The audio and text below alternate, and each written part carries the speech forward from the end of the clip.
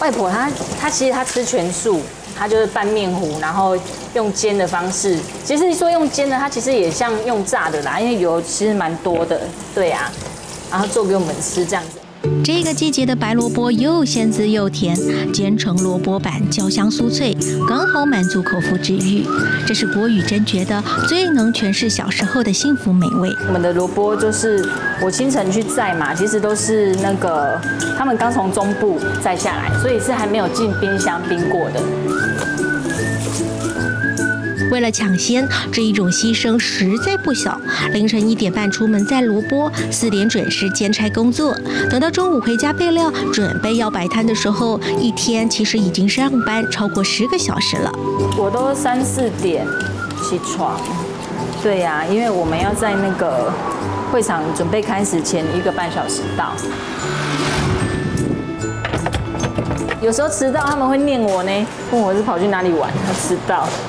他们会说：“那无钱啊，跟我们看过来做，一个困个迟到。”萝卜丝拌进粉浆前，一尾尾去壳的虾子得先吸干水分，放进调理机里搅碎，才不会轻易发酸。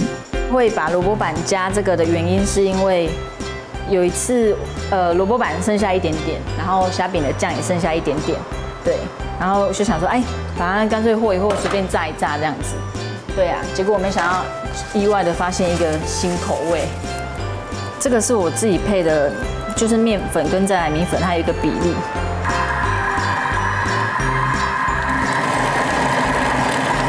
简单来说，雨珍的萝卜板独特关键就出在虾浆。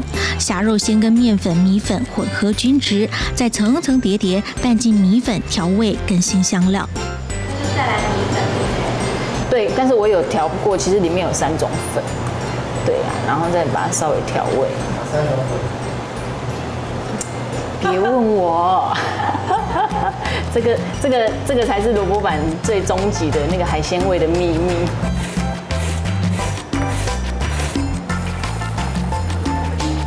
虾浆调粉浆，最后萝卜丝再跟葱花、蛋汁一起搅拌。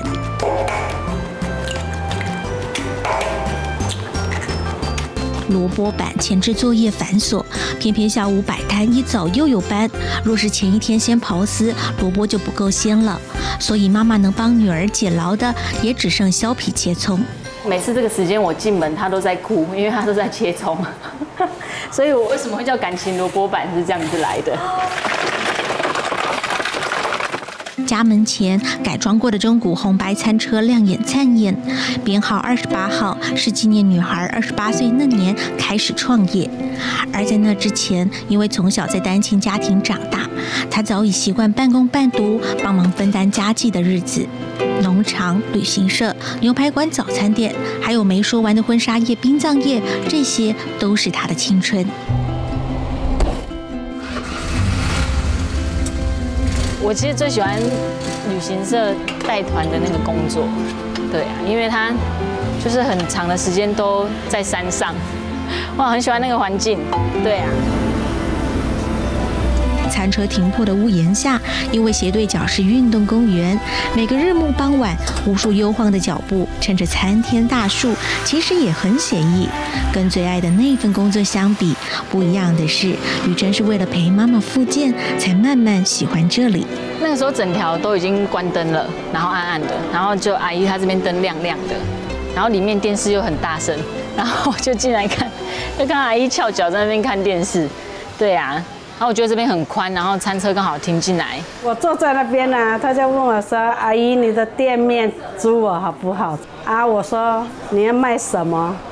我说：“好啊。”我看到她很老实又很乖巧的女孩子，哎，啊，我就说：“好啊。”经过好几天的时候，有两个年轻人要给我租，啊，我就不租他。很奇怪，可能是和他有缘吧。你好，吃什么？为什么要开车摆摊？那是三年前的事了。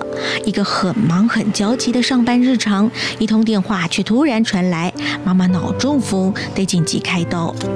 那时候医生就说，哎，有三个选择，一个是就直接走了，然后一个是那个开刀的中间他会复原，但是他就变植物人，然后还有一个就是可能会一手一脚，然后颜面神经失调这样子。你有像现在这么镇定吗？当时对，因为当时我妹很不镇定，所以所以我一定要镇定。淡定的清秀脸孔下，即使内心多么波涛，于真也从不对外人显露。包含把妈妈从死神手上抢回来后，沉重的医疗生活支出，也没有让她垂头丧气过。以前有一个阿姨，她跟我讲过一句话：没钱的时候，你在家吃白饭，撒一点盐，没有人知道。那你如果想要把这一段撑过，你只能靠你自己。啊，你不需要去告诉别人说你过得怎么样啊，但是大家都会祝福你。我最舍不得要搬那么重的东西，要一个人，我没办法帮忙。他以前也不会啊，就是我身体出状况以后。要养家，更要照顾妈妈，好几个南国预热的夏天，外貌出众的女孩剪去迷人长发，为了专心讨生活，她没想太多。开一下音乐。因为它面糊下去的时候，它其实是需要低温下去，对，然后压的部分是把它那个面糊让它整片可以平均定型这样子。从油锅里出狱的萝卜板，表层金黄脆口，一锅子热油，乍看抽离了食材表面的水分，一口咬下生嚼，内在却鲜美、水润饱满，滋味时而让人误以为是月亮虾饼，却又带着客家披萨的灵魂。撒上胡椒盐是古早味基本款，抹上老板亲手煮的柠檬酱油，又是另一番层次的推演。你怎么找到这一家的？哦，我在上课的时候一直。花 IG 然后看到的，觉得应该算比较我阿妈那种那个时代会有东西，可是好像应该应该它有加一些不一样的东西吧。我我是没有上网看了，我是没有看完，但是我来到这边的话就觉得很好吃，然后又有人在采访就进来了，就觉得很新鲜呐，还有萝卜糕那个萝卜丝啊，对，有全锅炸皮吗？对，有有有，它它现在改良过哈，比较符合现在时下年轻人的那种。这样子，餐车的侧门，文青式的提上莫忘初衷，看着自己的用心跟努力，逐渐化作客人的回眸。雨珍现在总算感到有点成就，日子过得去，家人也都健康相伴，这不就是辛苦换来的祈愿吗？不过妈妈的新年愿望可不止这样，我也希望他们找到很好的对象。嗯，我无所谓。会不会给你施压？会啊。他他任何意见我都会听，他这个我不听。他就，no，别跟我讲这个，我我惨啊我。他说，我我系无无顺堂，我可以讲，啊你免跟你生。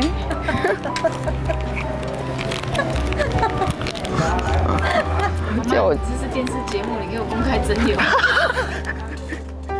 或许人生也很像萝卜板，扎扎实实的粉浆是生命，但若少了酸甜苦辣的揉碟，又何来有滋有味的隽永小点？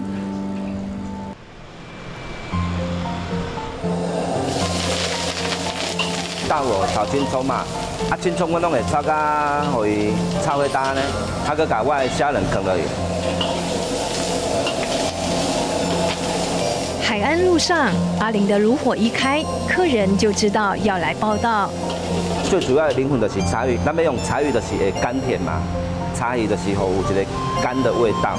伙伴们身手熟练，看虾仁一起锅，赶紧将它铺在吸饱虾汤和柴鱼汤的米饭上。控制要做定的汤。系啊，我最多最多一盖当差四十万。这一碗和时间赛跑的虾仁饭，正是和台南历史一起成长。太阳升起，一直到月亮高挂，都可以闻到这股焦香古早味。老人来叫一下，有味道吗？有点味道，哎，爱还要个青呀。较早因老早都有咧做啊，啊做起来像阮在地阮食了都会下。啊，遐个拢拢从口味袂歹，台南有名就小酥娘嘛。吃虾仁饭就是要配鸭蛋汤。古早年代，鸭蛋腥味重，庶民才会食用。回味旧时光，阿玲自己刨柴鱼片，慢火熬煮柴鱼汤来压味，所以在喝到它已经女大十八变，变得鲜味十足。你要先吹鬼，啊，吹鬼之后烤出来的菜也较香，会比较香，香味会比较有。所以说你的生意很好啊。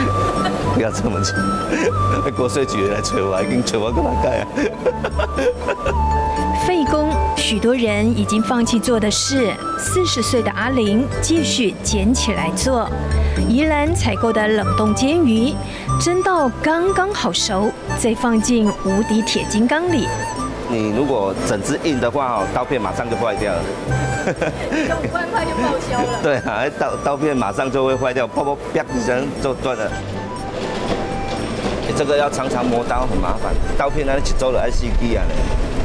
啊，大大台一点要十二支，迄个迄你干那磨，迄你干那磨刀片你也磨个笑而已啊！都是我在磨啊。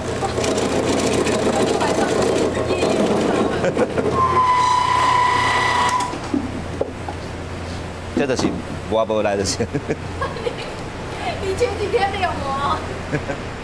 柴鱼片薄不薄，就看阿玲认不认真在磨刀。薄到透光的柴鱼片，片片落下，鲜美风味垂手可得。有了它，就可以做出销魂古早味。十五年前，陈振林原本从事电脑业。来到超过八十年的虾仁饭老字号帮忙，因为老老板的信任，才展开水深火热的人生。当初我老头家嘛是有咧甲我考验，先叫我做一寡拢无必要的工作，啊，我感觉讲这个工作其实足无聊的啊。经过大概两个月之后，哦，伊感觉讲，哎，你是可以的，伊较愿意甲你讲。老老板叶奇才的三个女儿都念到博士、硕士，没有人有意愿接班。厨房里，小事都肯做，也不怕吃苦。看在老老板眼里，自然是继承的不二人选。只是当时根本不想接手。擦个手麻去啊，迄刷牙拢无感觉的啊，擦个困去啊，擦门擦个困去啊，真正足忝的。我觉得电脑行业我是蛮有兴趣的啊，因为我底下做个这欢喜的啊，因为我打刚刚那个招无赶快的所在。老品牌已经是个金字招牌，别人求之不得，阿玲却往外推，这一推也把家人的怒火给逼出来。感觉讲那做稳定吼，较袂讲无工课啊，是安怎吼？有稳定的，感觉讲咱的。咱的工课，咱的三顿的那有有正常。想长久一点，就是他也有饭碗，我冇本碗啊，都一样啊，互相啊。最后是为了一家子的生计，才定下心来，正式当起接班人。老老板坐镇店门前，招揽客人。妈妈这位幕后推手，也天天帮忙剥火烧虾。啊，早上是帮儿子剥虾，嘿，晚上再去帮女儿洗盘子啊。啊，你没骗哦？没啦，自己的儿子啊。成堆的虾子不赶快处理，马上变得又臭又腥。偏偏去头、剥壳到去肠泥都得手工进行。地球暖化，火烧虾产量越来越少。过去一天可以拿到两百斤，现在一百斤都拿不到。也无啊，啊所以会吼，就拢比找找汤水啊。有啊，那哦，我以为是你们两个给他 PK 掉，不是哦，不是啊，一点的就两三四个。个头娇小的火烧虾煮过后，口感依旧 Q 弹，虾肉甜度高又浓郁。包括虾卷、蛙桂、霸丸、虾仁饭料理都爱用。只是当年一位二十四岁年轻人，突然空降小吃一级战区，长着老店的锅铲，街坊邻居都瞪大眼在看。压力是一定会有，因为有一寡老头啊，也感觉讲，哎，你味道不同哦，无像老西安尼炒。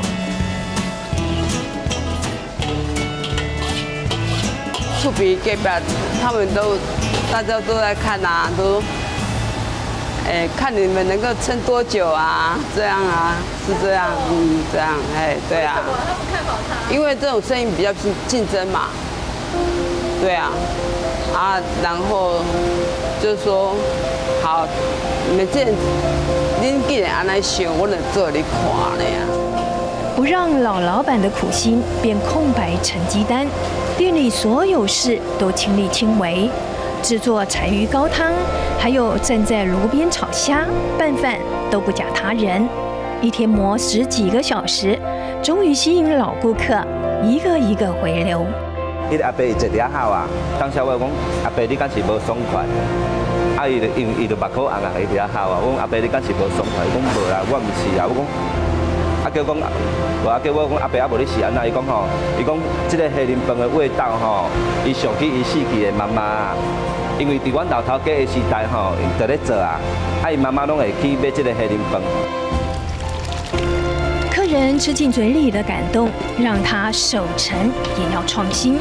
原本太太的私房料理，拌入五味酱的凉拌猪脚，搬上台面。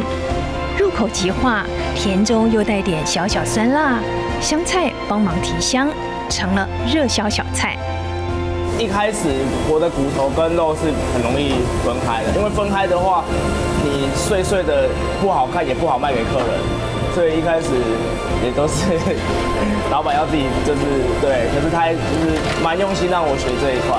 起来之后马上就是一锅冰水，急速让它冷却。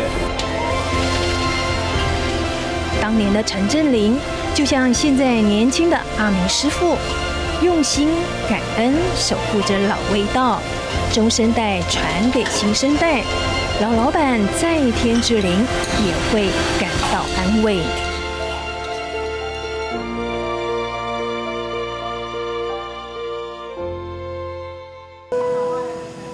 深夜时分，整条嘉义朝阳街已经昏昏入睡。独留方品单的店面还亮着，时针刚走过凌晨两点，不是打烊班还没收尾，而是特早班已经上工。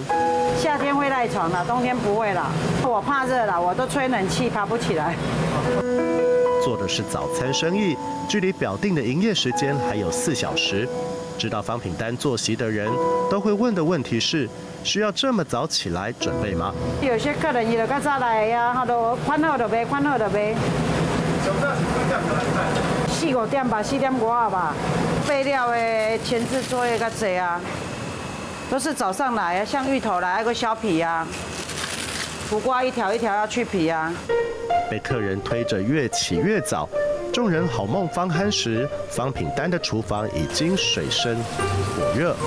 五台大锅热力沸腾，一锅汆烫带血水的，像是猪肺等内脏；一锅熟成三层肉、猪头皮、后腿肉、杏鲍菇等小菜品相。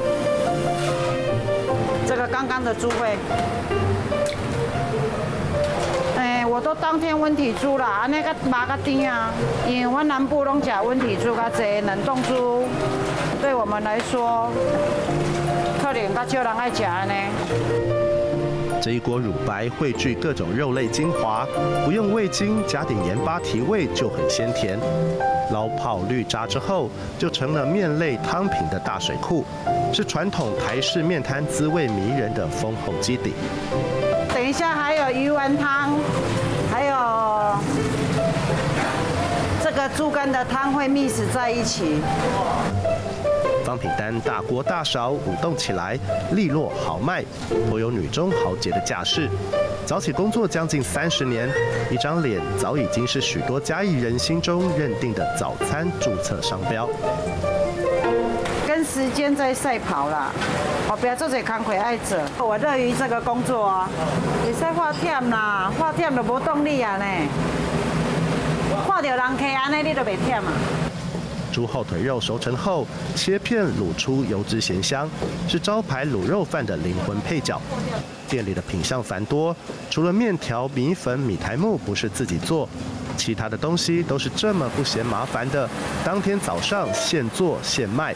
像是虱目鱼条，就一条一条下水浮水，完全不假外人之手，不买现成。起码个人较少人爱安尼做啦，较搞干。正常都是吃汤的比较多啦，他吃干的一样沾沾蒜泥酱那个酱油跟蒜头啊。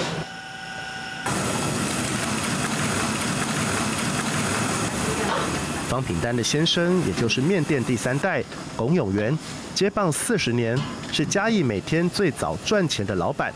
别人还在被窝里不知今夕何夕，他已经超前部署，蓄势待发，迎接每天的第一批钱潮。这粉哦，我用用咧上好的粉，市面上粉一包七八百块，这间的哦一千五。迄个是古早味番薯粉的味道哦，即摆有诶拢，你像咧拄店以前哦，人出出来是，大家拢贪俗早，他有太白粉、啥物粉，然后黑白头啦。你唔甘望人去食，敢要食歹，人上面来食。虾仁饭用的虾子新鲜第一级，尺寸大一号，沾上地瓜粉，汆烫熟成，才能锁住水分，甜分不流失。还没变身餐桌上的佳肴，就十足吸睛。龚永元说，做生意的诀窍我把夯，舍得给客人最好，自然会有知音不少。正经义来讲哦，你笑死，跳倒来着哦，揣无只，揣到用叫啊呢，揣四十分钟我揣袂着啊，找着就笑干呢。你要坚持这条路要行，你就是要爱认真啦。你别人讲我要讲无头食步啦，就咧讲灯，做这样情况安尼看，什么行业拢忝嘛，你嘛忝啊对无？是你第一领域内底，可是讲你要认真啦。而南部最受欢迎的捞蟹吧，瘦肉加地瓜粉和红糟调味，再灌入肠衣，吃得到诚意肉香。芹菜、荸荠、鸡蛋、面粉、猪肉合体的锦柜，工序麻烦，一样自做自售。摊台上一字排开，琳琅满目，比起许多专注菇味单一品相的店家，还要麻烦许多。重点是，就算菜色繁多，每一样都得够精够专，才能获得挑剔的在地味蕾认证。干面，一个干面。果真时间不到五点，那场备料工作还在进行，早起鸟已经聚拢，准备热腾腾的展开一天的活力之始。今食无人，真诶人，已经早十点就无啊人，啊哈再来，啊哈再来。拢食卤啊饭、啊鸡骨啊汤、啊小菜，很丰富。那那个胡瓜汤都超好吃的。早十点外啊过就卖就拢无啊。你是惊食无？你唔知吼？迄无过来有当时连停车位都无诶。早起来就一定来遮食啊，逐工诶啊，烧烤好食，烧烤好食。我我我讲做啥个啊？卖遮早？你问伊啦。拜礼拜较恐怖，拜礼拜来规工个货，那菜市场。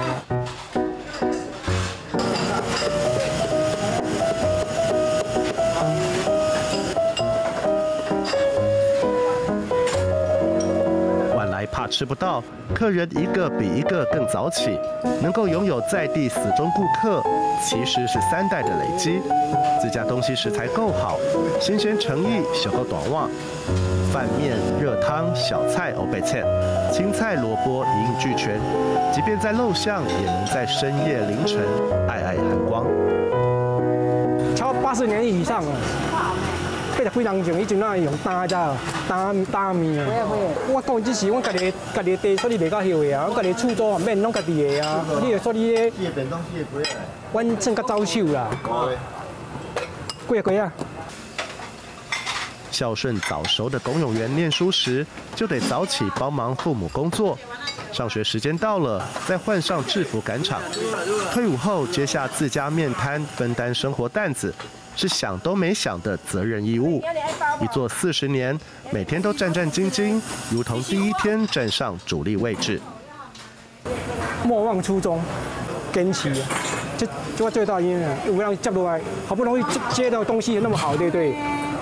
惊麻烦啊，单单的得，单单得啊，变的得，变的得，你袂进步啊？对我一个进步啊！伊老早物件，你要坚持啊！以日本职人精神自我期许，要将工作职业做成骄傲置业。即便已经十项全能，依旧不肯放松片刻，不断精进，在老味道的基础上，持续做得更精致细腻。龚永元和太太也因此把原本的小店面做成了嘉义人心中的日常美食灯塔。在农业社会是我的糊口而已啦，对吧？他，现在因为工商社会，大家拢爱紧食食，赶要上班啊，外食的人唔该遐济。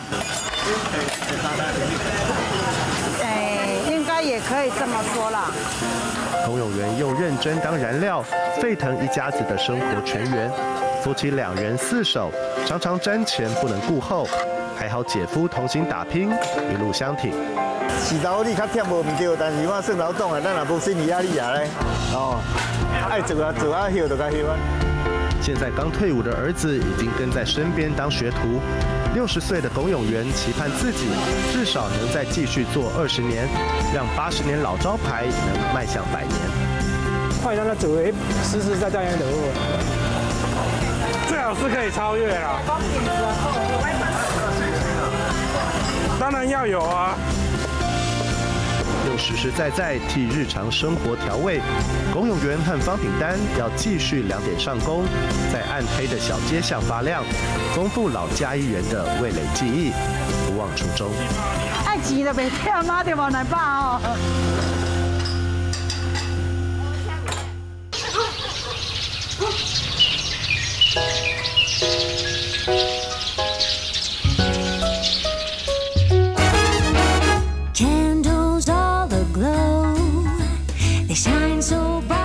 纷鲜丽的外衣下有南台湾特色水果原汁原味的内涵，视觉系的雪糕让观光客驻足，要挑哪一位，一时之间好难做决定。需要帮你介绍吗？好啊。呃，我们的紫金市金比较有特色的招牌是是这个杏仁核桃咸蛋黄。桃花印雪糕入货的还有童心，小朋友倚着透明橱窗流口水，一拿到手马上摆出 pose。拍照留念，草莓也好吃，那想再吃，一定要来吃哦，非常的好吃，而且入口即化，然后就是甜而不腻。甜味的话刚好，对，还蛮蛮香的，就是嘴巴里面那个茶香跟甜味蛮浓厚的。老少咸宜的冰品，七年三班的谢凯文把它当成艺术精品来制作，但其实初衷很简单，只是要让儿时的传统滋味再度复活。因为我就是亲戚，他们家是在做传统冰棒的，就像我们现在做的这个杏仁核桃咸蛋黄是他们的招牌嘛。然后还有一些，比如说米糕粥啊，这些是招牌。那它其实已经不被接受了，而且很多年轻人就是根本没吃过这个口味。然后我们希望可以保留这，因为我从小吃到大。小时候一支十二块的咸冰棒，谢凯文现在用意式的做法，让这一支咸蛋黄雪糕至少增加十倍的价值。加入切碎的咸蛋黄和 cheese。口感和外形都更优化、进阶，更贴近年轻人。投入冰品制作的初期，谢凯文并不喜欢冰棒一融化就水水的，也不喜欢冰淇淋嫩狗狗。他想要做介于两者之间的雪糕。先上网询问 Google 大师，结果对冰品的 A、B、C 还是一知半解。终于有个契机，可以飞往意大利。美式冰淇淋就是有点像哈根达斯做的那一种，它是很甜度很高的。然后在我们这个东南亚的气候里面，你太甜太腻，其实我们吃不多。但我们后来发现，就是做冰淇淋的很大的国家就是在意大利，它就是做 gelato，那它是甜度在八 percent 以内的，所以是比较适合我们吃，我们才去意大利学。从意大利进修回到台湾两个礼拜，机器才空运来台。谢凯文从纸上谈兵，到终于有机会操冰。偶尔他用年轻人的创意来让古早味别具特色，满足克制化的需求。那一个论坛里面最常说的就是我的老天鹅，所以我们就想要把它做成鹅。那我就说，哎，那我们的雪糕能做成鹅吗？所有人就看着我，想说鹅太难了。然后就是可能他们做了很多尝试，可能用画的，可能用怎么样，就是怎么做都不行。最后，谢凯文用鸡蛋冰造型来做出鹅的头，再用翻糖捏出鹅嘴。口味上则选用豆浆，不脱传统滋味。现在十足老板样，懂得跟员工沟通磨合，但其实谢凯文根本是任性千金脾气差到。哦，我以前脾气差到会拍桌子、摔东西的。我没有工作经验，所以我比较不知道怎么站在员工的立场去看待这件事情。那我都用我的角度，用用公司的角度去出发，所以以我觉得以前我比较没有同理心。还有餐要上吗？谢凯文的大学毕业后第一份工作就是自家餐厅的老板，千金小姐不愁吃穿，但偏偏谢凯文身上有着叛逆的 DNA。尽管母亲极力制止，谢凯文高中时期就爱去餐厅端盘子。最害怕就是我一出去就看到我妈的车停在那边，然后坐在车上很很累的看着我，然后我就会骑机车，他就在后面跟着我，然后到家里，他一句话也不会说就上楼。我每一个工作大概这样维持两个月吧，他就会打电话跟店长说，啊谢凯文他有事情，他没有办法再去打工了。就这样，常常被强迫辞职，母女关系一度很紧张，屡劝不听，夜归爱玩的女儿，终于有一天让妈妈理智线断裂，下了最后通牒。他就说：“你手机拿来，我手机交出去，信副卡、信用卡拿来。你十七岁小孩拿什么副卡？然后拿出来，那个机车、摩托车钥匙丢出来，全部都没有。他要跟我讲说，你其实没有我，你一无所有。然后我就。”很生气，很倔强，当时很倔强，我就跑出去了。母亲的一句话让谢凯文在一夜之间成长，他学乖了，到国外念书，但心里总是担心哪一天习以为常拥有的一切又会被剥夺。直到这一天，他接到妈妈的破冰岳阳电话。那个时候就是我在美国，然后也不喜欢念书，所以。家人就是希望在这边可以开一个餐厅，然后找不到人家愿意来这边帮他，然后我就想说啊，我好像也应该回台湾，然后呃，我就在思考我要做什么，然后我妈就找到这个机会，有人可以帮他，当然求之不得。当时谢家开设羽球馆，在馆内附设餐厅。谢妈妈给了凯文一个舞台，让他在这里从门可罗雀的店家做到现在人气满分。几年前他创业投入冰品世界，当大家一窝蜂封双麒麟时，他想做的却是意式古早味雪糕，皮肤上巧克力酱和综合坚果。设计精巧的雪糕，让人少女心大喷发。蛮酸甜的，因为我选的是葡萄跟火龙果的口味，对，蛮天然的，对。那你觉得它的装饰呢？也很特别，就是它有就是完整的蔓越莓在外面，就是外面很蛮就是很少见这种颜色，所以特别选这个口味。投入餐饮业十年，谢凯文三十四岁，养五十多个员工。人如骑兵一样冲突，年轻外表却有成熟想法。我后来开始从这个模式里面去发现，说原来企业责任是这么一回事的。你要跟员工一起努力，让他们有一个梦，那我们就只能继续往前走。当初那个叛逆千金变成顶着千金的老板，过去因为靠妈学着经营餐饮业，十年磨了个性，磨了脾气。有了历练，有了事业，不再害怕哪一天一无所有。这食材一定爱加工，先煮起来，煮它了点钟啊，全部拢煮好啊，啊，底下翕翕要两点钟，而家做足香，啊，你出来到这嘛是爱去开火，搁滚，愈滚愈香，愈滚愈香。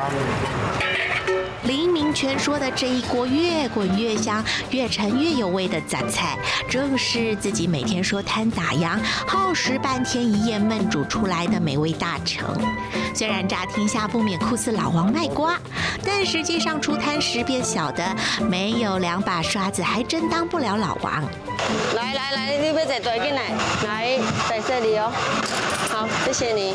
来个假金花，来个宝龙哦。不错吃啊，很好吃啊，蛮有古早味的。蛮有古早味的。就是以前的那个乡下那种味道。因为伊气味袂歹，啊，啊，阮餐厅都开，阮都无得上车。你嘛开餐厅？哎呀，阮开，你看嘛，我开餐厅，这边路来食这。系啊。路边起了小吃摊，不分周间假日，卖的就是四五个钟头的早午餐。靠着一只锅铲，手扶的千百张味蕾里有七只开名车的饕客，往往数十年资历的老宗破塞，也都是大红房桌上的常客。你讲你做多几载做几年啊？四十几档啊。那你感觉这台食是安怎？可以啦，伊的口味无，该生的拢有出来啦。老板好，哎，歹势啊？啊哈。中午十二点多，午休用餐的时间都还没过，餐车上的杂菜锅常常已经一扫而空。无独有偶，隔壁的卤综合几样鸟蛋笋干猪皮衬着卤风肉，尽管料不多，晚来的也依然要扑空了。客人眼里的番仔明做起生意来，总是一脸肃穆，话不多。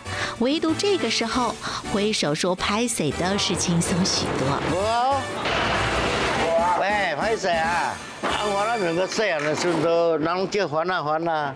较早恁较无迄个古早味啊，阮这较早做囡仔有迄古早味，较早较馋啊，啊拢拢外面脱裤，咱就穿条内裤，啊都拢遐走啊，拍到有鬼鬼啦，啊目睭个大蕊啊，哎烦啊烦啊来啦，爆香啊！说起六十岁的林明全一身厨艺，除了来自儿时就跟在开面摊的母亲身边，其他都应该算是自学。过去卖过土托鱼跟蛋仔面，也曾独自一个人掌勺开过海产店。很多人要下去爆，我们去吃火锅也是，你的到底是要爆啊。主食菜和炒石头火锅又不尽相同，同是七字八味百味纷陈，汤美也全靠又煨又熬。但因大锅菜里的十来样料，主要还是十字复刻板豆菜尾，因此前置工序也就繁荣许多。林明全的食材虽属于古早派，但用料和炒制过程却极像高端艺术。培根，培根肉。比如培根取代扣肉，却又以咸菜和笋干炒出其一种应有的酸香。生瓜就是传统那个红吧，小时候那个生瓜，哦，我们现在没有卤，我们就就直接下去炒，把那味道跟咸菜、酸菜炒出来。那这个料都随便你放了，要不不要固定，有时候变来变去。新香料都放妥，接下来上色提味就不只有乌醋、白醋和酱油，林明全还添了番茄酱，时而递补肥鱼鲜滋，而后又下了沙茶，用以驱逐新山寡淡。酱哦，还没，还没呛，等一下还会呛。酸甜苦辣咸五味齐下，顿时就是空间偌大的老厨房也满是呛香。而成就古早味的两大秘密武器，紧接着才准备入锅。一是如今已经慢慢匿迹于小吃行列中的扁鱼，再则才是自己抓来的汉方中药。我不知道我自己做做出这种东西出来。你那个很厉害呢。哎，为了生活啊，为了被骗了生活啊，没办法了。豆腐、豆皮、萝卜白菜、炸鸟蛋，十多项的菜色里，其实有好几样根本已经能算大菜等级，诸如卤控肉、八宝丸，又甚至是待到所有食材皆入了味，最后才放进锅底的乌骨全鸡。应该甜，该放贵啊！我有啥个会割咧手的，我若想着要甲下啥，我就甲下啥，看我心情啦。你若想着要甲南啥，你就甲南；啊，你若想要南螃蟹的时阵，我季节我嘛是甲下。记得十多年前食材摊刚开卖的时候，每逢菜价喊涨，林明全总会在心头开始掂斤估两，只要多少还有利润，下点重本放鱼鲜虾蟹笼络人心都是有的。只不过那段收摊后，蹲在门口得先炸排骨、炸肉丸，费时费力备完各项材料，才能开始包煮的时日，确实想来心酸凄楚。你看像较早嘛是会小可心会酸，嘛是会酸啊。这目屎这毋通讲啊，漏血。这这，本来用即马有有迄个这这流目屎。镜头外，就算已经当了阿公，幽默爽朗的他也不会言自己过去真是个浪子。年轻时抛弃妻子，而后也娶了第二任妻子，但没想到几年前朋友找他到对岸开蛋仔面店，人生也从此变了调。阿妈讲伊讲伊有出本，出本安尼母仔囝你拢带来，哦，两份的薪水哦，你讲较足好听啦。啊，这大伊就较负责啦，啊，做起来钱公家本啊，我玩了遮好袂歹来，啊来个外月尔，伊就无啥袂信任啦，讲咱会甲安怎样的，较偷的较啥，我我菜拢我咧买，样物件拢甲伊记录好势。啊，伊即摆我即摆迄个越南某差别，带囡仔倒来台湾。一言不合，下合伙生意没了，没想到老婆在这个时机点也带着孩子一走了之。回到台湾几乎身无分文，偏偏借酒浇愁，还出了车祸，简直是陷入人生最谷底。诶，去弄着，啊弄了闹真大，啊人人送去病院啊，叫警察啦，啊警察来个抽个检查，讲你个是啉烧酒啊，要发也无钱通发啦，啊若无要赔你啦。伊讲你无酒，我不爱赔你啦，按判三个月啦，啊三个啊那无钱通个罚金啊，等于做牢狱。生命走到了绝境边缘，后来是朋友的几句真心建议，才让他转念。回到厨房，既然生财工具都在，厨技了得也偷不走，那么不如就把拿手菜肴化作精髓，煮成攒菜。年轻的时候比较不会想啊，妈妈是比较辛苦，对。都三十几岁的时候吧，还是二十几岁，那时候我们比较不懂事，所以这方面比较不懂。对啊，等懂事的时候，就是我跟着妈妈的身边，对。所以这个故事讲起来其实还蛮惨的。尽管成长的路上，爸爸总是告假，孝顺的女儿长大了，总还是舍不得他，摊前摊后帮着打理，瞻前顾后。那你不会怨恨他？因为他也是我的爸爸，因为他自己真的也是蛮辛苦的啦，有时候脾气是比较暴躁，可是他从头到尾都是自己。自己做，然后自己付出，然后缴所有的东西都是靠自己，也没有跟我们伸手拿钱。哎，以前那边是一个细个店呢，足辛苦，拢人个车车过来，甲你看看，拢唔落来吃，我无要紧，总有一天我会等到你，你定下落来甲我食，啊来食就掉了，人客哪个会来？回头两三天，还是几乎每天来吃，你就是成功了。总在细心烹调过后，大马路边每当香气蜂窝的食材锅出炉了，仕途老饕也紧随报道。想想自己的人生，不也就像调羹下的这碗芳醇，尝来有酸香咸腥，而后有清甜甘美，总算也值得了。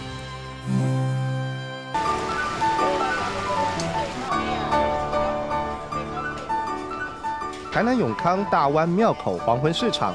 在地人的好料厨房，想吃什么应有尽有，其中最火热的就是这一摊。哎，阿龙没甜，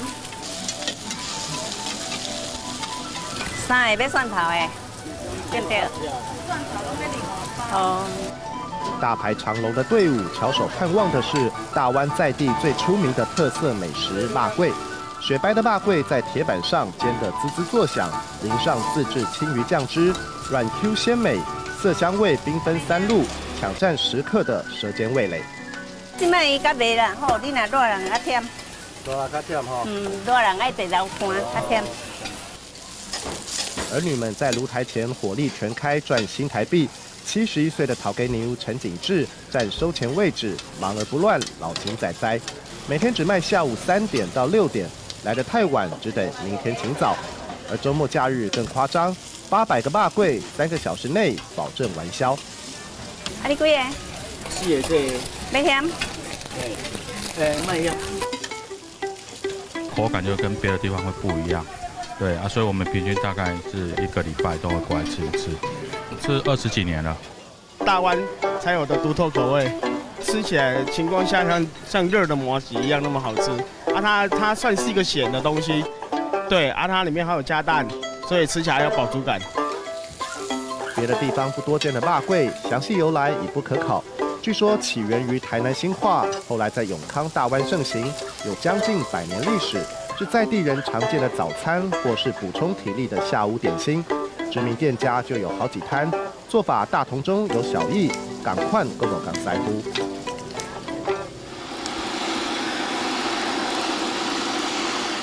正在磨米的是老板李家胜，跟老板娘一样，七十一岁，做霸柜三十年，是大湾知名的霸柜达人夫妻。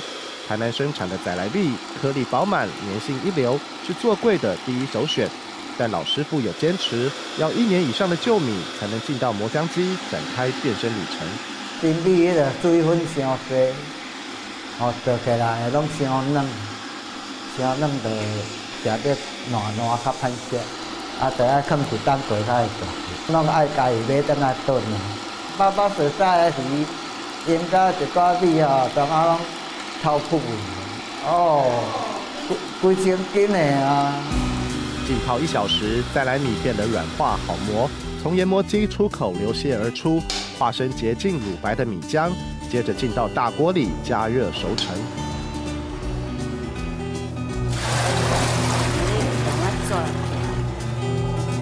纯白米浆在大锅里，随着温度升高而渐渐凝结成固态稠状。得随时注意火候，然后心到、眼到、手到，适时加水控制浓稠度。水分太少容易焦锅，半自动手臂也不容易搅动；水分太多软趴趴，待会不容易塑形。全靠老师傅的经验判断。啊，你安尼伊都袂袂得是像叮，袂加落来。嘿啊，安尼就较叮，就爱个透水了，啊好放一个。爱固定就是安尼。做这的时候，人讲啊讲，你也袂使想走出来，安尼走你爱有一个来遮看。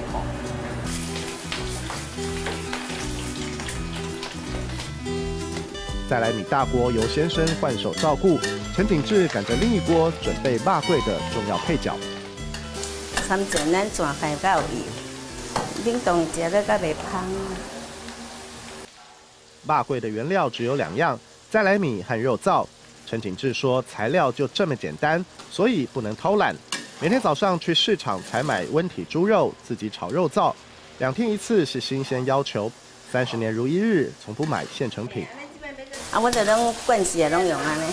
咱家做的吼，看了敢无感觉安那？啊，别人做的咱就唔知影。肉燥和再来米合体后，空气中满是诱人香气。”等到搅拌均匀、软硬度合乎老师傅的标准后，才可以装模作样。进前就是用迄迄个鼎，啊，安尼在拉，安尼有忝无？迄阵安尼是足忝啊，拢流汗流啊规身躯。啊，你那在人会顶打？哎呀，哦，咁啊呢？迄阵敢会遐熬哦。惯势就好啊，啊无做遮侪工。啊，这单用当我尔，我足骨力。啊，人讲讲做着啊，像人诶，伫上班诶，啊，逐日都爱出门。自己身为老板，当做每天上班做员工，勤奋且战战兢兢。原本在做黑手的李嘉胜，四十岁时遇到失业难关，中年危机伴随家庭经济问题迎面而来，差点走投无路。所幸那时在卖霸柜的阿姨伸出援手，传授所有的做法和配包，让李嘉胜夫妻俩人生中场转换跑道，从头来过。三当四个月安尼也未出师，这个会考你唔知哦。啊，人别人都会做一个，咱敢未做一个，对不对？啊，就爱做啊，啊，输人啊，唔输阵。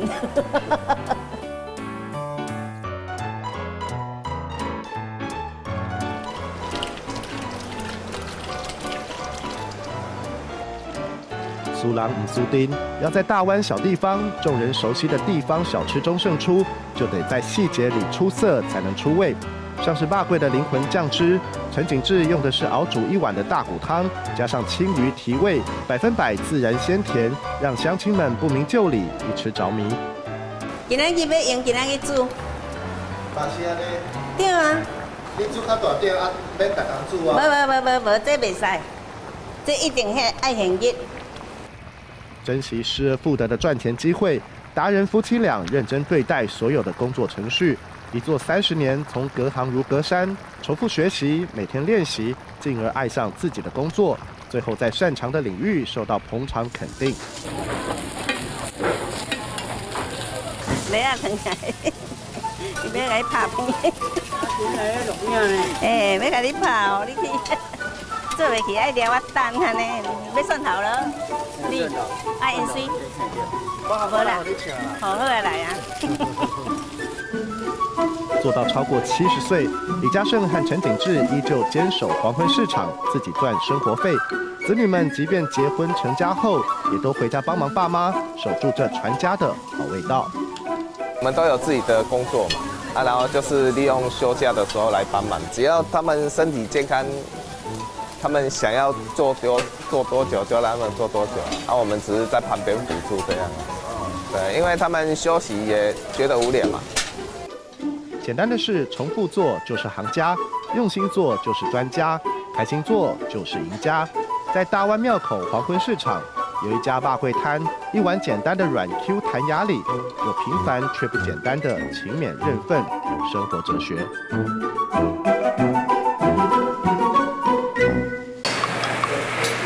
肉皮鱼卵，两个青菜要综合的，还是要拢要挂菜？修乎乎的切拉米米粉，一碗一碗出场。小菜玻璃柜里，猪舌、猪肝、猪皮、卤蛋，甚至是白斩鸡、N 层蟹霸，应有尽有。这画面，多数台湾人觉得熟悉又亲切，标准的街边小吃面店图像。老板郑志峰在料理台前一副当官，节奏不愠不火，二十年练成达人资历。八十年老店第三代，对自家碗盘盛装的口味有信心，是经得起时间淘选的怀念滋味。像我阿公老了来人客啊，阿公娶爸爸娶孙啊来食，所以我靠我都伫遮立足，伫行来在做生意做遮久。自豪从阿公时代开始到现在，从来没在街边做过生意。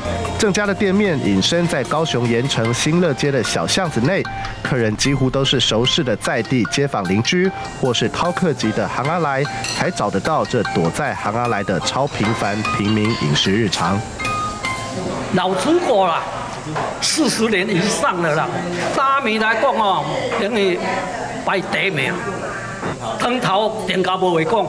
它的汤头是用鸡下去熬的，很淡很清，但是那个味道喝起来就是有很浓的那个鸡鸡的味道。好，那我觉得它的小菜有特色，就是它的东西都选得很好。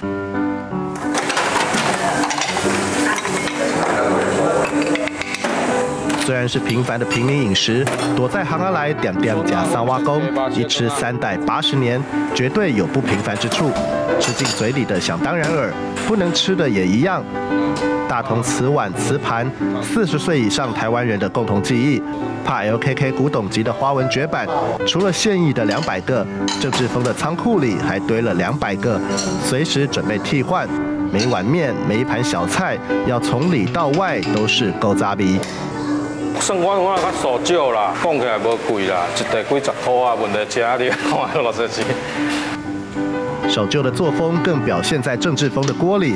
每天一早备料时，小菜汆烫的这锅滤渣之后，一 gam 底够就是汤面还有汤品用的高汤，汇聚了油脂和甜分精华。清早六点上市场，郑志峰的小菜不青菜，有的店家上市场买现成，他坚持所有卖的东西都要自己制作，每天小量采买，冰箱不囤货，维持食材鲜度，文体肉才有他要的口感和鲜甜。面碗，伊的迄个油脂较济，肉较软丝。啊，若干的无，伊的肉的较较硬穿，较无油的较硬穿。冷冻过那种无，伊会较较无迄血色啦，食起来嘛有差，较无甜度。你家己的手做出来物件，就是属于家己的味道。我逐项要变的啊，恁就无一定要来遮食。自己的味道其实是阿公阿爸一脉相传下来的味道，外面买的替代不了。除了面没有自己做，其他关乎口味的小细节全部坚持自己来。要结婚前就有人说做吃的很辛苦，那时候就有一点点就觉得说啊，各行各业都辛苦啊，反正回来到这边就是全部重新学。酱油膏每天熬煮不嫌累嫌麻烦。年轻老板娘陈秋玲说，她还在努力学习，榜样是厨艺功夫了得，可以拌一整桌菜的婆婆。第二代老板娘新春族。猪油煸起来，油泡啊，阮阁有咧做做肉丸啦。油吼煸起来啊，较香啦。较早的人就是拢安尼啊，我较早过来就拢开始做啊。结婚第二天还不会洗手做羹汤，身为生意人家的媳妇，新春族从擦桌洗碗开始磨练，将公公婆婆的功夫吸收内化，成为传家本领。十九岁开始做到将近七十岁，媳妇熬成婆。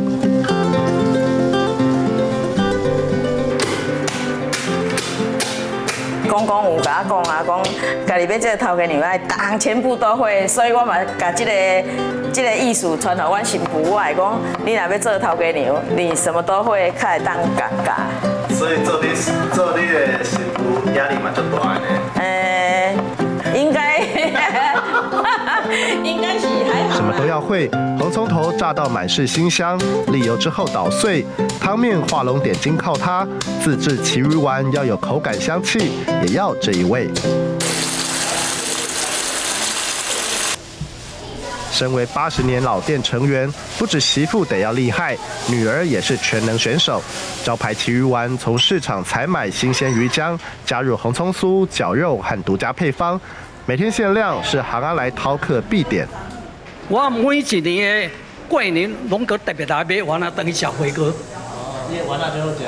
好啊，我这边摕来家己送朋友的。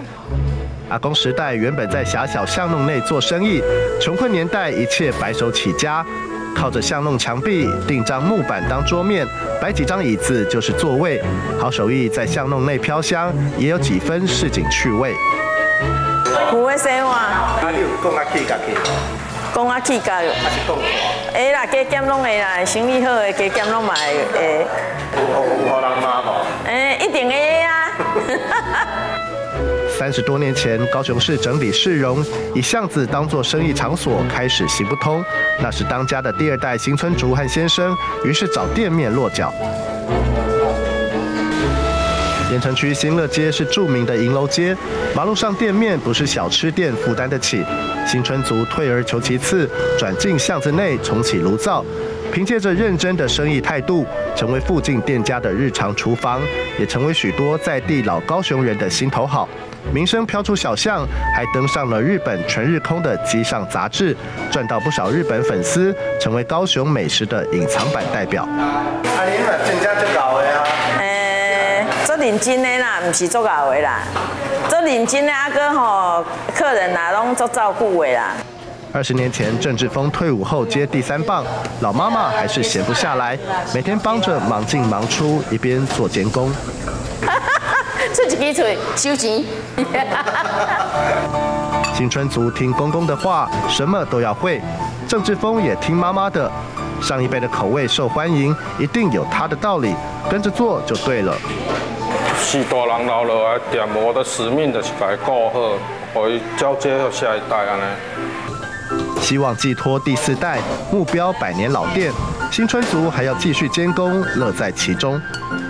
人生嘛，啊应该爱拼，做啥物代志拢无要紧，只要认真做到有一个成就，安尼就安尼就是咱的成功啊。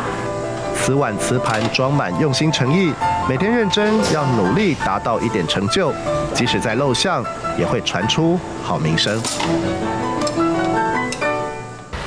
摩托车。游击队穿梭奔驰，路径自由，自成秩序。冈山小镇的每一天，就从文贤市场周边早市的运作中，散发出生猛活力。四八五十的，两包两包装，带哪个省啊？来，别打折。好饿。冈山人的大菜厨，生鲜熟食一应俱全，其中人气最火热的，应该是黄少威的这一摊。来到啊半点钟，好食啦，真材实料，口味足好，这内门板豆这上出名的。五十块好好。你内门来的对了。内门板豆对。内门来的中破塞有半桌原香的光环加持，生意比炉火还要热烈。老板师傅黄少威，大锅大勺正在打包的是中破塞的招牌赤肉羹。刚刚才煮好的一锅沸腾，只卖外带一包五十，两个人吃绰绰有余。假卡假爸修口短袜，也难怪煮好没多久就快要见底。有时候第二锅再卖，已经第三锅预锅预定完了。所以订订到第四锅了，哎，所以冬天大概有时候都等到快两个小时。住附近的就回家等，比较远的就是先去光菜市场，然后有的就在这边等也会有。曾经有客人买了四趟都买不到。上一锅迅速完销，下一锅立刻备战，进入滚煮模式。黄少威的肉羹能够让在地婆妈甘愿排队，一个上午要煮五锅，每一锅都能在半小时内抢光。大店里绝对有料。哦，真的食料，高丽菜、金针菇、木耳丝、秀珍菇、香菇、黑木耳、肉丝，啊，还有扁鱼、红萝卜、板德鱼肉菜。啊，人讲的板德好食歹食，食的鱼肉菜就知影好食歹食。这个中破菜会煮袂煮，就看伊的鱼肉菜就是羹，伊的羹也好食，差不多无问题啊。离肉菜不能落亏，必须一流。光是配菜就不青菜，比起许多小吃店的肉羹汤，丰盛有诚意。主角更不马虎，吃肉条沾上地瓜粉，裹上虱目鱼浆，演出跳水秀，要调分缕析，才有入口的饱满丰盈。你如果没有包，比例弄错，那个肉看起来就很小块。那个粉如果没扒上去，什么东西都鱼酱没有上去的话，那起来就不漂亮了。我们有我们的梅嘎嘎，那个吃起来是软的，但觉得吃起来不像是在吃肉，可是真的很软。一锅要捏十二，大概十七斤，或者说一天捏下来六七锅，真的手真的都不行了，隔天起来手都很痛。冬天 OK 啦，因为冬天冷嘛，所以 OK。夏天真的很热，看我们的衣服都是湿的，连内裤都湿掉了。明天要等一个十点十分呀。在不同的市场轮流摆摊，冈山文贤市场固定在星期三。虽然卖的菜色比半桌单纯许多，黄少威还是得跟做宴席一样，三点起床梳洗，从内门家里载着 Gacy 桃啊，直奔临时厨房烹煮好料。前置就是要先炸过，炸完之后要再先卤一次，就是先过卤一次，然后在这边再再把它用用手用烂这样，哎，因为再来这边炸来不及了，因为炸那个要很费功夫很费时间，那个没办法。那锅肉羹是主秀，这锅崩肉也不遑多让，三层肉丰腴不腻，肥裤肥瘦比例完美，先炸再卤，洋溢醍醐味，配饭配面都是百搭。等你看我高丽菜好食。你今日买啥？买卡货、笋丝、肉皮，拢做好食。师傅是自己的丈母娘，三十年功力，醍醐灌顶，不藏私。黄少威即便婚后八年才接触餐饮业，起步很晚，也有模有样。三十几档的师傅啊，咱咱这算半汤师出来煮的，咱有人袂敢会接受啊，所以师傅免讲啊，各路免讲。啊，未做这我之前我真正捌做过物件，泡面就用泡的，而不是煮的。谦虚自嘲是挂汤塞。黄少威另一个拿手项目养观赏鱼，就是满道溢出来的扎实实力。原本开的是水族馆，把养鱼兴趣跟工作结合，而乐在其中。不过大环境大不如前，让他在理想和现实之间挣扎了好一阵子。以前你像我在大卖场工作的时候，以前一个月的营业额大概三百多、四百多，到现在一个大卖场有一百多，一个月一百多，算很厉害了。你看这差多少了？这个这个是很现实的，真的。鱼人家可以不养，东西一定要吃。哦，你没有钱，真正的你就没有去去让实际去养那种东西了，还是要向现实低头，没办法。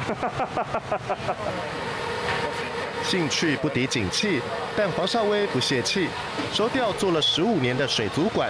他善用身边资源，跟丈母娘学习厨艺，专卖半桌菜，不被时事打败，反倒顺应环境，能屈能伸，让太太跌破眼镜。他是贵公子啊，什么都不做的贵公子啊，应该是这样啊，环境所逼啊，不得不不不不向前走啊。事情遇到了哈，那诶这个过程中他自己也调试很大啦，有有佩服，因为一个人要转变，确实要有很大的勇气啊。嗯，所以潜力无穷。嗯，可以潜力股啊。潜力股，选对了。他，选对了，应该是他选对我啦。疫情期间，大家没机会假扮斗，思念这一位，让黄少威的炉台更加火热。为了撑起一家子的经济担子，他上午跑早市，下午固定在黄昏市场主食，就像游泳的鱼，不曾喊累。看见笑人，哪张平啊，看几多平啊？先苦后甘嘛，呀，那咱经过几多通做啊，袂等咧食个老，咱嘛无法度啊，那咱哪当做尽量做，安尼就对啊，安尼。拿出拼劲和真材实料，化汤塞也能在自己选定的领域里沸腾出一番气象。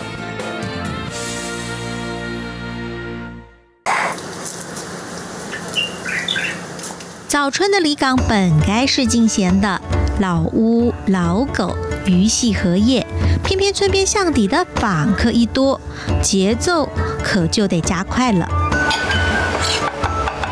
十二号，来，单子点好了吗？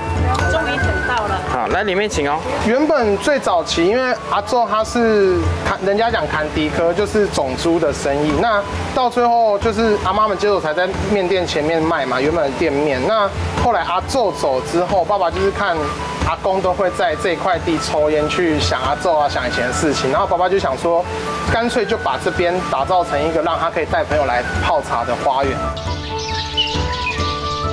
是木房的前身从前是猪舍，经由爸爸打理后，才成了想念阿公的花棚。但如今客人慕名涌进，倒不全然是因这鱼景色。两个小时，可是对，可是我们吃了之后，觉得说很值得。本来想说吃不完打包，没想到太好吃了，嗯，所以就全部打 打包到肚子里。觉得他们家的卤菜其实都蛮好吃的，尤其是像米血，然后还有这个菜卷，也是蛮特别的。哎，对啊，它的口味又不一样了。哇，汤头，它的汤头不错。他阿妈在做的时候，妈妈在做的时候，到年轻的在做的时候就来，只要有来离港就会来吃。算一算，从阿妈当家到现在，这碗面的历史也近五十年了。不过老人家当年一开始做生意，其实是卖八宝冰，后来随着每每淡季一到，人烟就明显变少。阿妈只好想方设法变出一摊四季都能让人暖饱的。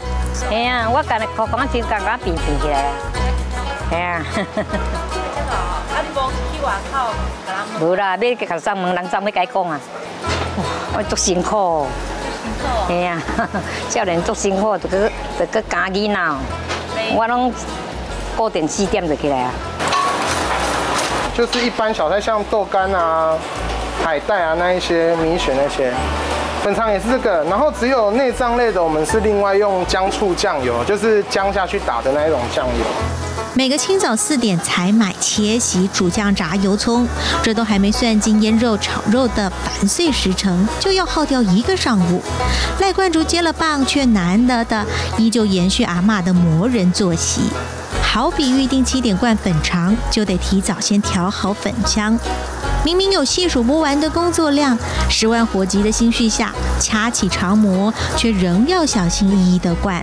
水煮时也同样得心细气柔，否则火候一没抓好，破了就是一锅子的肉骨浓汤。像阿妈心情不好，那一天的粉肠就大概要破一半。为什么？人家心情他就会把火整比较大。所以我们有时候看到早上来就啊，粉肠破了一大堆，就知道阿妈那一天应该心情不好。以中药佐料加盐巴调味的夹心肉酱是粉肠历久不坠的秘方。虽然做法磨人，却是法简小馆谁也模仿不来的抒怀小菜。至于村子内口碑悠远的高丽菜卷，味道同样玄妙，功法当然也同样琐碎。倘若两年前阿公没有匆匆离世，妈妈也还健康无恙，那么赖冠竹大概也就不回乡卖面了吧？是妈妈，其实现在已经是失智的状态，她到后期其实很蛮严重的，然后又加上阿公已经就是走了，就是去世了，所以我就觉得说家里没有一个人会来接放掉这个这个东西，就有点可惜，放到这摊子有点可惜这样子。严格来说，还没打算接手面摊的三年前，赖冠竹在台北做的是复健师的工作。传统的老面店当时当然也不在这儿，但妈妈顿时患了失智症，外公却在当下突然间也病倒了。然后阿公也是刚好，他就是可能被蚊子叮到蜂窝性组织炎这样子，然后我们就回来顾他，就他一个礼拜之后就他就走了。对，那他走之前其实就一直希望我们回来接。因为其实九九他们自己有自己的工作，然后一个已经在台中成家立业，然后一个是他自己在离港这边有其他的工作。赖冠竹的心底总这么想着：如今这家面店，某个程度来说是用外公生命换来的。在他的逻辑里，如果外公还在，猪舍不可能改建为花棚，那么面摊也就无需搬到这里来了。而外公走后改变的不单单是猪舍，另一个负面的转变其实是妈妈家具的病情。看到熟人，他不会去打招呼，不会去寒暄；可是他看到陌生人，他就会去跟人家讲话这样子。所以人家想说，哎，奇怪，他是谁这样子？然后像现在他就是像小朋友一样，就是到处骑脚踏车，然后一直吹口哨，就像小孩子一样。前一阵子会去人家商家认识的商家拿东西，然后就可能就没有付钱。妈状况急转直下，就算赖冠竹不是那个分分秒秒守在脚边照顾的人，但当时又要烦心开店，其实一路走来是很折腾的。比如说像我们要去建建界啊，那些东西我们都是从来自己没有跑过的，然后所以那时候其实很烦躁，因为包含建设都要用到钱，我们就要想办法去借，然后就会每天都在烦恼，说我到底店什么时候才能开？不是回来接个店而已嘛。是啊，不就是回来接手面店而已吗？但原本的店面因为外公走了，有了产权问题。赖冠卓的想法是，既然有块空地能整修翻新，那何不一口气做到好，做到底？一刚开始，其实把阿妈东西学起来之后，就是他的手艺学起来之后，然后我们就跟阿妈讨论说，就是。要把餐具的部分换掉，然后因为老人家他们比较不理解吧，他们就觉得为什么还要再花这笔钱去把原本美奈敏的碗碗盘去换成瓷器这样子？那对他们觉得说啊，东西就好好的还在那边，你为什么要去换？把美奈敏换成瓷碗，其实还不足以是引怒阿妈的火炬。老人家那个时候最无法认同的是，还没赚钱，已经筹钱又砸钱，却迟迟开不了。店开足侪钱，我我头唔知开咁侪钱，我往来讲我家囡仔讲，我才开咁侪钱，啊，佮佮讲遮久，还袂还袂做，开三百几万呢？我讲太，俺一店呢，店阿大会去加他向侪钱啊。就是建设的部分吧，因为一刚开始他一直以为我们会接手之后，只是就是把这边大概就是搭一搭，可以开放冷气，对。然后到最后是我们把这边已经开始有一个模样出来的时候，阿妈就说，到底还要再花多少钱才能把面店盖起来？他觉得很简单的事情被我们搞得很复杂。那我就跟阿妈讲说，你放下，我们我们自己有自己的想法，而且我们自己有，就是我们自己很肯定会把他这边面店做起来，对，不会让人家看不起这样子。哎，走，你好，请进哦。哎，里面请，哎里面请哦。还好这个当孙子的沉得住气，店门推开后也更努力争气。两年时间没砸坏阿妈的招牌，反而把清灵秀逸的面香煮得更深邃了。尽管忙碌，就像热气干煸着意志，但眼看进门的又是一组回头客，或许再累也值了。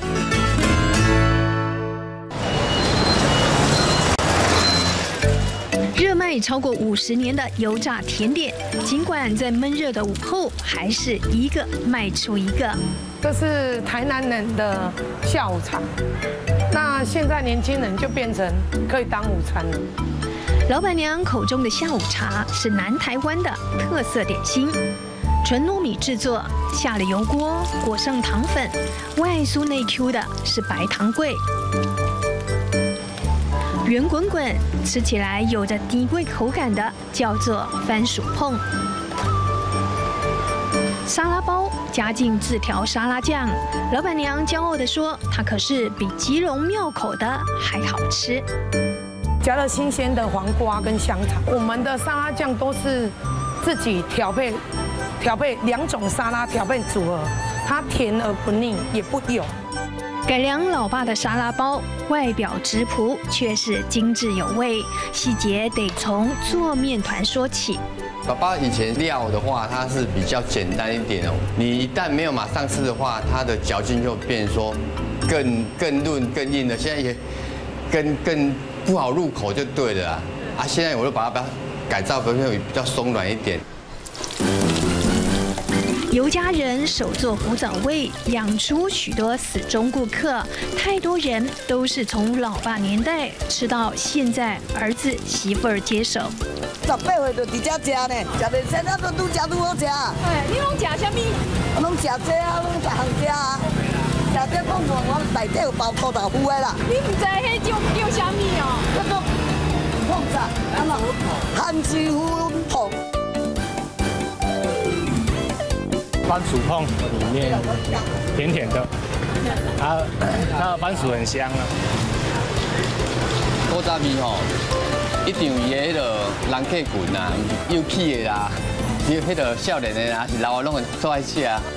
虽然是小小的摊，但为了延续古早味，每天都是老少总动员。儿媳做好的馅料，尤家两老会像是做手工艺一样，一个一个把它完成。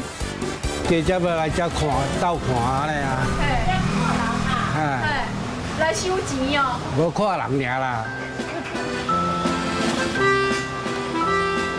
阿贝年轻时，白天在工厂工作，晚上兼差帮人卖夜宵。师傅炸番薯碰、包沙拉包，他每天看着看着也就学会，甚至做的比师傅还好吃。最后干脆摆摊来卖，这一卖就超过五十年。儿媳不忍心老人家太辛苦，主动回家接棒。服务界餐厅做过厨房啊，系啊，捌做过啊。服务界嘛，走要要二十档啊，十外档啊。我国中国中十外岁啊，就去餐厅学功夫学好的，然后尾啊妈妈嘛要退休啊，都来学咧做安尼啦。餐厅一家做过一家，夫妻俩接手老摊，更注重食材品质，选用堪称是台湾最好吃的台农五十七号地瓜来做番薯碰，因为它既 Q 又甜。地瓜锻炼秀天天上演，为的是给客人吃到最新鲜。啊久啊，就感觉对种较轻松，啊，就用什么方法去去个站，啊，那么种就家己就好啊，啊，速度才会紧啊，无看过遮多做来了。比较传统式的啊，现在都已经大部分都是在机器了。对呀。为什么练就一个好身材？是爸爸也用酒瓶吗？对啊，早之前都是用酒瓶。经过一小时蒸煮，地瓜释出香气，酒瓶压过，松软质地全都漏。为了让颜色更好看，不使用色素，而是加入红地瓜配色。最后包进花生馅，下锅油炸，就成了圆嘟嘟的魔鬼甜点。少年的，你着要求的，就是外观爱水，啊看起来搁好食，好食款安尼啦。啊，你会感觉，要甲伊的品质够稳定，然后伊的皮生又酥。虽然伊的制作慢，所以就是人客爱需要等安尼。你又袂使烧马火啊？因为烧马火伊外油，等你早煎起来是看起来酥酥，可以过偌久就是嫩去啊。哎呀哎呀，所以真歹照顾啦。六七零年代买气就已经很旺的沙拉包，灵魂就是它的日式沙拉酱，蛋黄、砂糖、油、盐巴、醋，内容物很简单，却得掌握比例。当年师傅没空做，全都丢给阿北去忙，没想到靠着他养活了一家子。就那研究啊，阿无那那系无咩啦。做生意，你后边较好食，佮用柠檬，哦，柠檬较较有较有迄酸味啊。直到今天，尽管阿贝已经退休，还是喜欢手作乐趣，因为打着打着会打出成就感。沙拉乐是在人咧拍啦，啊，拍会起，会拍会起。那个机也是无多人拍，伊也紧，速度紧，你都比比迄物件拢熟。我给你拍这啊，对对好啊，你拍的。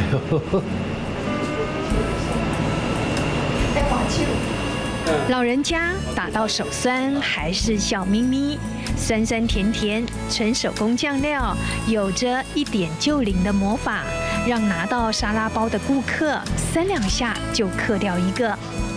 我会为什么还会守在这个工工作岗位？主要主要是人可以讲哦，老板娘你你传承的这韩吉蓬北登会，还是跟爸爸的味道一样。这种就听到你再怎么辛苦，再怎么累，你就会。很很有成就感。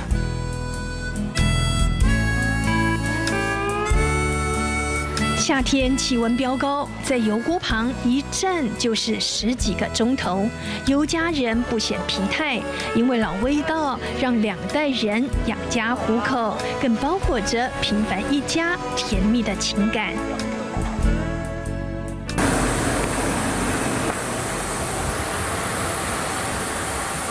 蒸笼泛着白烟，热腾腾的馒头出炉。令人惊喜的是，一个个卡通造型的馒头，米菲兔、踢踢猫、佩佩猪，小朋友一拥而上，迫不及待想要尝鲜。这个小妹没看过。姑姑小妹。哎，这个这个。我有花园。我有花园。我有看过其他喵。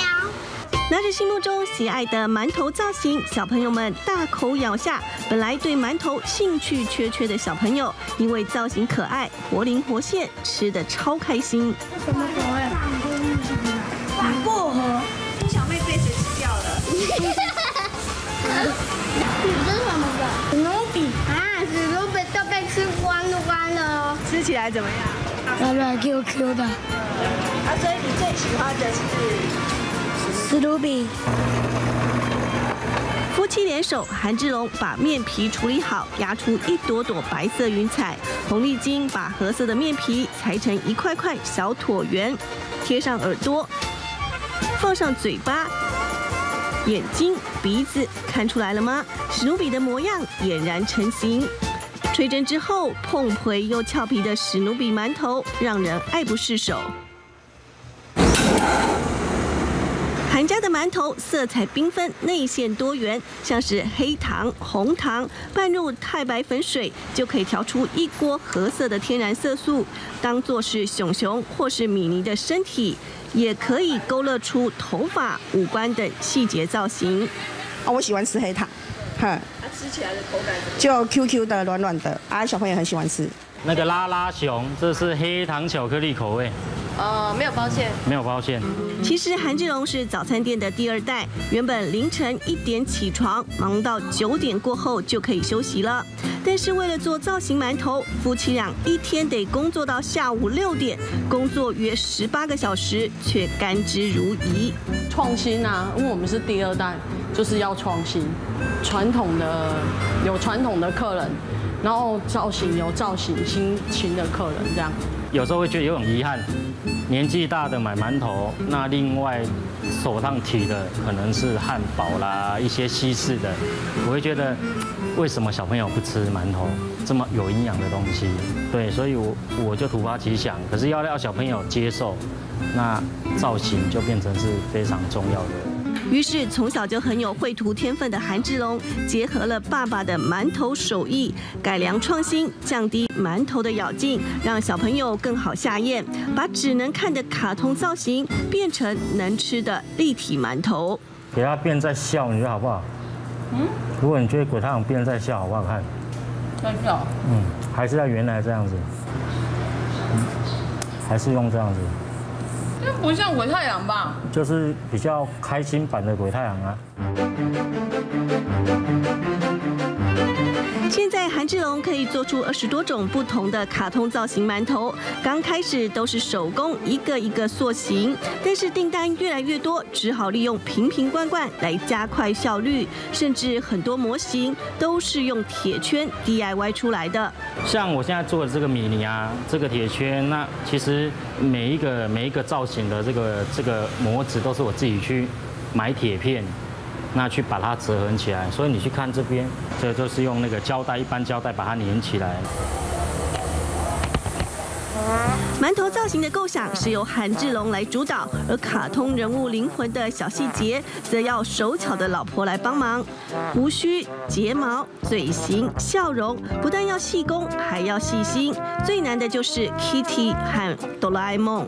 因为 Kitty 猫有时候你看起来好像虽然很小，可是难在它的每一个胡须啊，我们都要手工去切。那切完以后，你还要再把它粘上去，其实是很费工。哦，那这个地方是在肺工上，那这个地方的话，其实。是在他的嘴，你看他嘴巴这个这个笑的这个纹路啊，都都要去用手去粘上去的。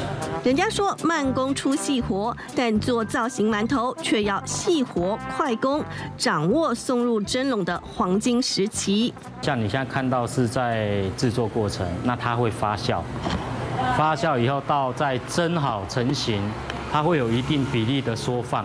对，那所以在粘的部分上。